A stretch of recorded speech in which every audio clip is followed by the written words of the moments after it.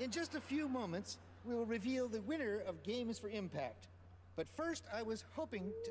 Oh, oh, here's Beaky now. Oh, good to see you. I forgot we have a basement. Um, Beaky, I'm so glad you're here wearing VR goggles to demonstrate our brand new game. You can put them on, but you can't get them off.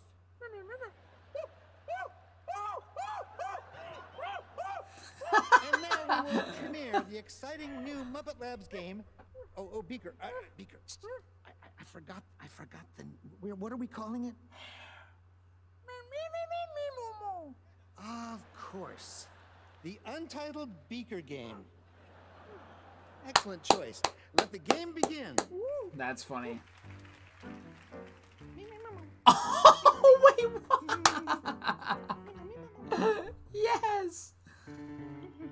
Oh my goodness! Wait, this is the greatest thing I've ever seen. Because Untitled Goose Game is great, but this just made it ten times better.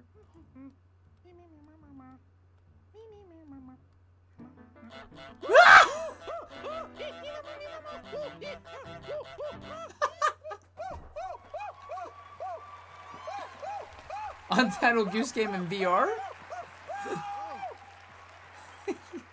Oh, well, That just made my whole night. I voted for Sea of Solitude.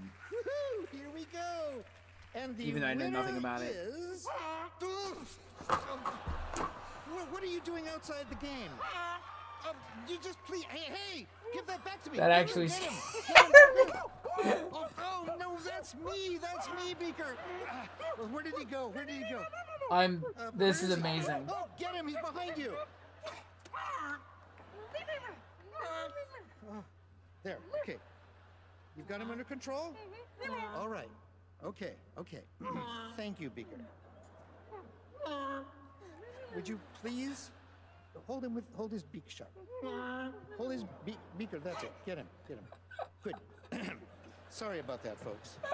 The award This is Games so for- Would you I feel like such a child right now, but I'm enjoying every minute of this. Stop it.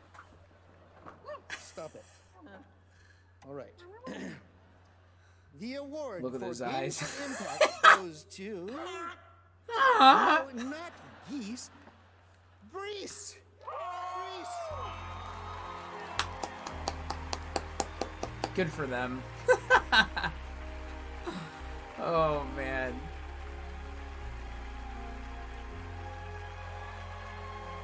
This this by far was was and is my favorite part of the Game Awards. Thank you to the Muppets. They are real. Thank you very much.